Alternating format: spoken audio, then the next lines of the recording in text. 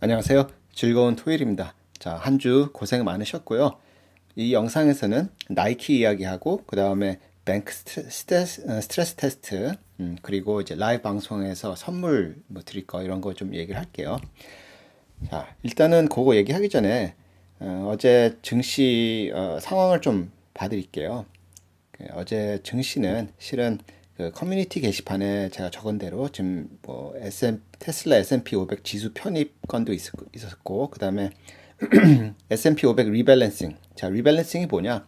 테슬라가 이제 S&P 500에 신규로 편입이 되기 때문에 음, 그 다른 종목들 있죠. S&P 500에 있는 다른 종목들을 조금 팔아야 돼요. 기관 투자자들이. 그래 그래야 이제 자기네들 그 holding을 약간 balancing을 할 수 있기 때문에 그런 게 S&P 리밸런싱입니다. 네, 그래서 그런 게 있었고 그 다음에 quadruple witching day가 있었어요. 그러니까 파생, 파생 시장 옵션 만기가 되는 것들이 있었어요. 지수도 만기됐고 그건 이제 장 시작과 함께 지수는 만기가 됐고 음, 지수 옵션 그 다음에 개별 종목 옵션은 예, 장 마감 때 이제 만기가 되는 거였죠. 그래서 어, 굉장히 이제 변동성이 큰 어, 하루였어요. 왔다 갔다 왔다 갔다 하면서 하지만 어, 마지막에 이렇게 탁, 어, 급 반등해서 올렸어요. 자, 그 얘기는 뭐냐면은, 저는 이렇게 생각해요. 예, 제가 뭐 100%다 틀릴 수 있지만은, 이런 모습을 보였다는 거는, 원래는, 어, 증시가 빠질 게 아니었어요. 어, 빠질 게 아니었는데, 좀 옵션 때문에, 어, 파생 시장 때문에 인위적으로 이걸 내려서 이렇게 페이크를 한 거죠. 어, 이제 파생을 이제 잘 모르신 분들은 이해가 안 되시겠지만, 어, 옵션 만, 만기일 날 이렇게 음, 이렇게 그 뭐죠 fake라고 하죠. 어, 진실이 아닌 어, 거짓으로 막 이렇게 어, 그 trading 하는 경우가 많아요. 그래서 원래는 올려야 하는데 막 빠지는 것처럼 해갖고 뭐 프리미엄을 죽이고 하는 게 있어요. 그렇게 해서 했다가 마지막에 확 올렸어요. 지금. 그래서 원래는 올라가는 거였는데 잠시 옵션 만기 요거 quadruple witching 되기 때문에 이렇게 했다가 이렇게 다시 회복시켰다. 저는 이렇게 해석을 하고 있습니다. 제 해석이 100% 맞는 것도 아니고 그냥 어, 재미삼아 들어보세요. 그 다음에 이제 나이키 얘기를 할게요. 자, 나이키가 실적이 대박이 났어요. 그쵸? 음, 제가 어제 커뮤니티 게시판에 아, 나이키가 이상하게 원래는 목요일날 장 마감 후에 실적 발표하는데 왜 이번에 금요일날 어, 장 마감 후에 할까? 실적이 개판일까? 아니면은 뭔가 새로운 뭐 인수합병 소식이 있나? 뭐 이런 예측을 했는데 어, 100%다 틀렸어요. 그렇죠 근데 그 글에도 제가 어, 그렇게 어, 그런 게 아닌가 하면서도 어, 100% 틀릴 것 같다. 이렇게 예상했는데 여하튼 어, 틀렸습니다. 그래서 어, 제가 뭐 다 맞지도 않아요. 맨날 틀려요 이렇게. 제 얘기는 100% 믿지 어, 믿으시면 안 돼요. 하여튼 나이키가 이렇게 실적 대박이 났고 이렇게 나이키 나이키 주주분들은 오늘 그냥 치맥 파티 하세요. 하여튼 굉장히 잘 나왔어요. 잘 나왔고 내용을 보면은 어, 중국이 한 24% 정도 어, 신장을 했어요. 그쵸?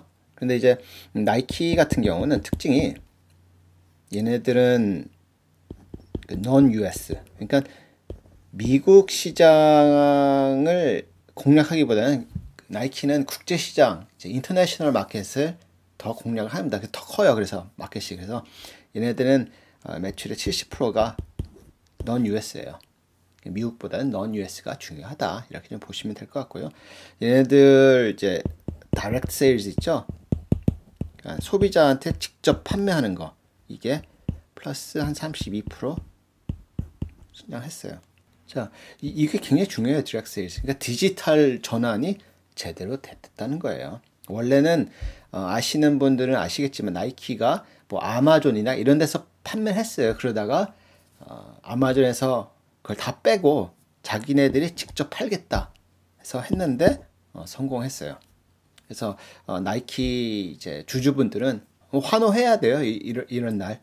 야 역시 내가 나이키를 잘 믿었어 하면서 테슬라 막 오르면 야 역시 테슬라 내가 계속 믿었기 때문에 나한테 return이 잘 나왔어. 이런 것처럼 나이키도 어, 이렇게 자축을 할 수 있는 상황입니다. 자, 그런데 제가 그 나이키 요걸 보면서 어떤 좀 생각이 들었냐면은 이런 생각이 들었어요.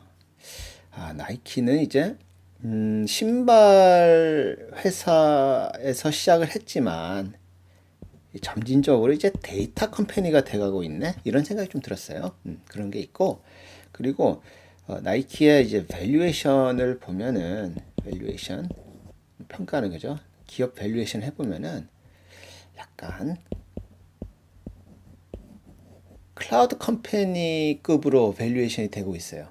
그래서 어, 이런 부분은 약간 조금 어, 주목해 볼 필요가 있다. 그러니까 제 머릿속에서 나오는 거니까 어, 여러분들도 한번 고민을 해보세요. 나이키 주주라면. 근데 나이키가 그러면 이렇게 로켓을 타고 계속 갈 거냐? 그거는 제가 모르죠. 그건 그렇죠? 예. 아이고 죄송합니다. 음, 그건 이제 제가 모릅니다. 로, 로켓을 타고 폭등할지 뭐 또 횡보할지. 근데 나이키는 어, 굉장히 그 성장 스토리가 좀 좋아 보여요. 어, 요거 나이키 얘기는 좀 끝내고요. 그 다음에 이제 bank stress test. 어, 요거 결과가 나왔고 이거에 대해서 어, 연준이 아 니네 은행들 어, 잠시 우리가 멈추게 했던 음, 자사주 매입 매입을 음, 다시 해도 된다 그렇게 얘기를 했어요. 그러면서 어떻게 됐습니까? 자 바로 JP 모건이 오늘 아, 한국 시간 오늘 아침에 바로 JP 모건이 아 우리 30빌리언 자사주 매입을 하겠다. 이제 Q1부터 시작하겠다 그랬어요. 30빌리언. 30빌리언이면 그래도 꽤 큰 겁니다, 이거. 하고 그다음에 이제 어차피 그 배당은 뭐 주당 0.90 주는 걸로 알고 있어요. 음.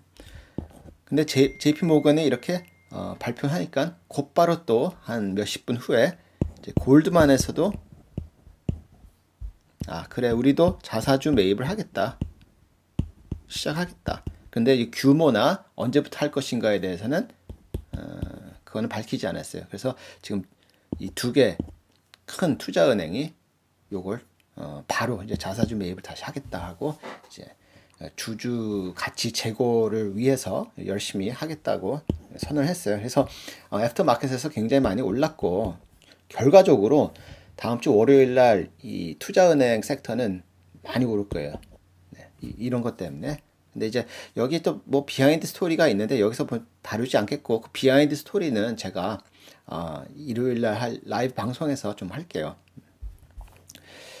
그 다음에 요게 어, 예전에 한번 썼는데 이게 폴님께서 우리 구독자분인데요. 아, 이렇게 저는 그 은행주에 대해서 긍정적이시네요. 그러셨어요. 그래서 이게 10월 10날 올린 제 영상이 있거든요. 그 영상을 링크를 해놓을 테니까 한번 보세요. 그게 이제 은행 관련된 영상인데, 그래서 제가 요 글에 댓글에 제가 아 그런가요?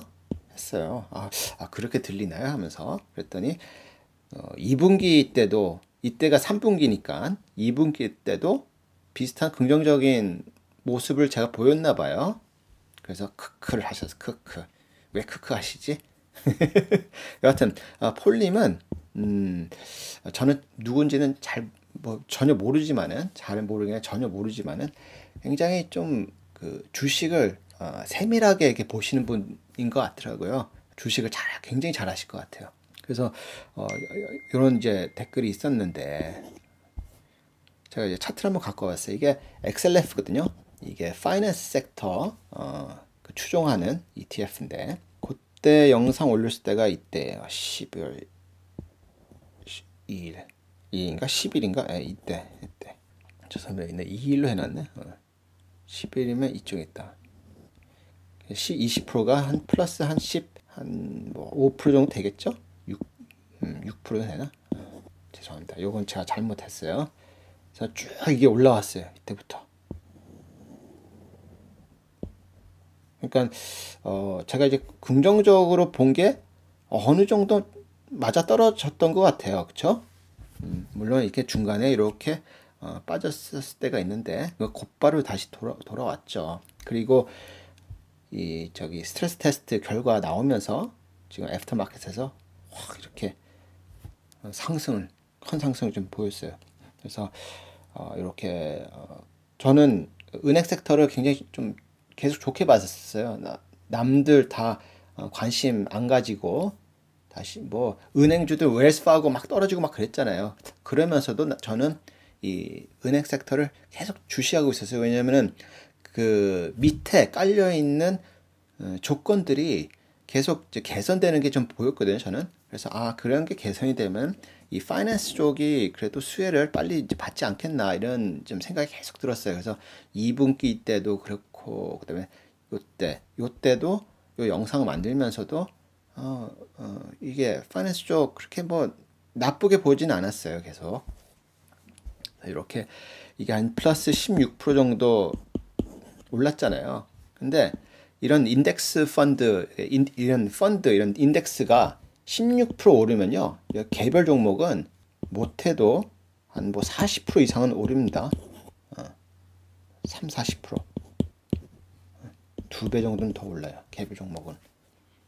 요거는 아마 개별 투자은행 종목들 들여다보시면은 16% 어, 이상은 더 올랐을 거예요. 아마도. 한번 보세요. 그거는. 그 다음에 이제 아, 감마 equal S plus R이라는 걸 제가 올렸었어요. 이게 12월 2일 날 게시, 그 게시판 커뮤니티 글로 이제 올렸었는데 요런 것만 딱 남겨놓고 제가 다른 얘기 전혀 안 했어요. 그래서 여기에 대해서 어, 24개의 댓글이 막 달렸는데 거기에 아 감마는 뭐 이렇게 맞추신 분이 계셨어요. 아주 정확하게. 근데 S 플러스 R을 아무도 못 맞추셨어요. 그래서 어, S 플러스 R은 실은 그, 어, 요 표시 있는 분들이 이제 멤버십 이제 라이브 방송 이제 보시는 분들이 또 계시는 아이콘이거든요. 근데 이분들한테는 제가 어, 공유를 했어요. S 플러스 R이 뭔지 12월 2일 요거 글 올리고 그 주 일요일 날 아, 요건 공유했습니다. 그래서 지금 이제 좀 지났으니까 요걸 좀 공개할게요. 제 S 플러스 R은 뭐냐?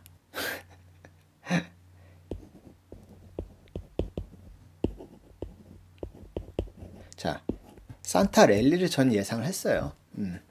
감마이크 이게 언제냐면 12월 2일이에요. 12월 음, 초 산타 랠리를 전혀 예상하고 이 감마 값을 대충 보니까 아 산타 랠리가 좀 실현이 되겠구나 이런 생각이 들었는데 예, 차트를 좀 갖고 왔어요. 그게 이게 S&P 500인데 이때가 12월 2일이거든요. 여기가.